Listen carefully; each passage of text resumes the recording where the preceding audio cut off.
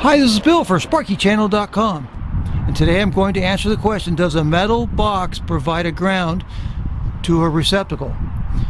You see here in my example I have the electricity's on by the way right at the moment for this test and I have my red lead from my multimeter hooked to the hot black wire and I have the black lead from my multimeter hooked to the white neutral.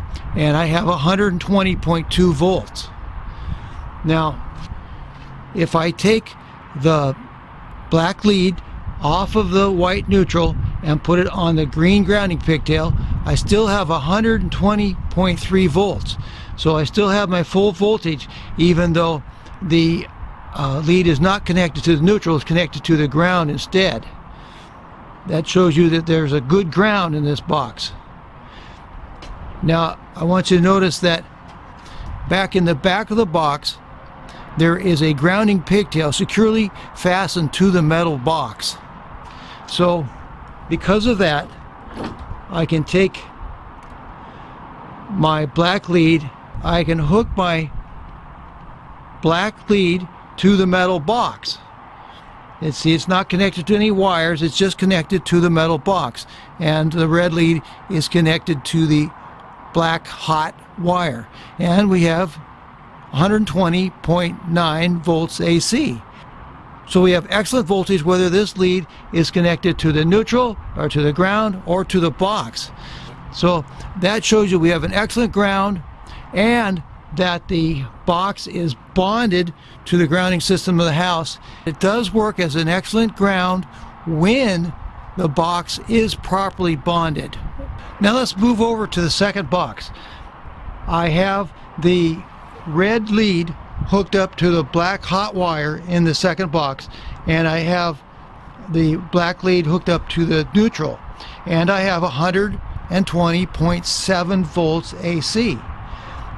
This is uh, similar to what you're going to find in a house that has the old two-prong receptacles, the ungrounded receptacles.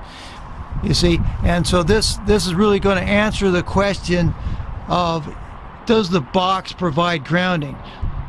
So I'm going to take the black lead off of the neutral and I'm going to hook it to the and notice right now we're getting 5.6 volts. You say, well, why is it getting 5.4 volts? It's because of the electrical interaction between these different items. We got we got different wires, and there's there's this is a very very good meter, and it's very sensitive, and it picks up the various interactions between the different wires and the meter and my body and so forth. So you got 5.5 volts AC, but there's only one lead hooked up. See, I got one just sitting here in the air, and it's got 5.5. So that's why. So I'm going to take it I'm going to hook, hook this one to the box. You see, okay, now I got 9.4 volts. So without the lead hook to the box, I got 5.4 and with the lead hook to the box, I got 8.4. And it actually does create a little bit of ground, but not nearly enough for a house wire system it wouldn't protect you. It wouldn't do any good.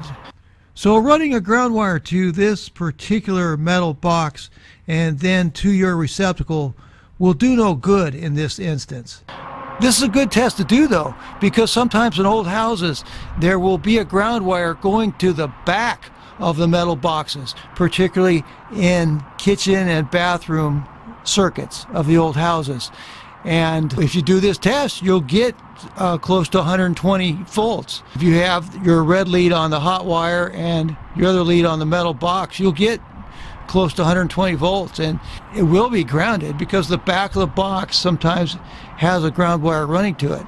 However, these wires are in the old houses are 16 or 18 gauge so they're not sufficient for today's code. So the answer to does a metal box provide a ground for your electrical wiring is that it depends on whether the metal box is properly bonded to the grounding system of the house.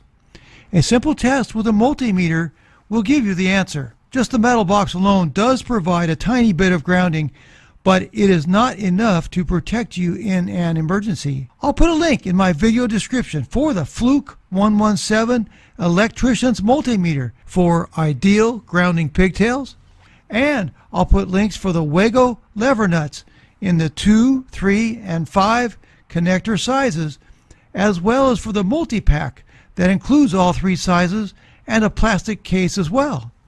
Thank you. I hope this video was helpful.